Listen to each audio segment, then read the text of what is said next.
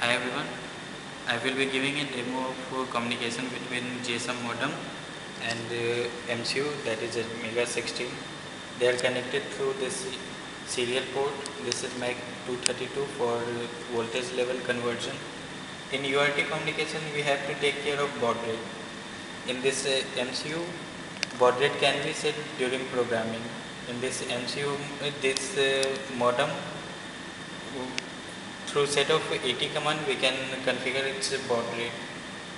This time I have uh, programmed this MCU to make a call on this particular number that is my number. Let's see after resetting the program. It's uh, making a call on this number. So there is a call. Now I guess uh, all those who are involved in working with uh, MCU, they must have guessed uh, what else can be done with this. Thanks to Professor Siddharth Panda, Power and IIT Kanpur for providing funding and working space. Thank you.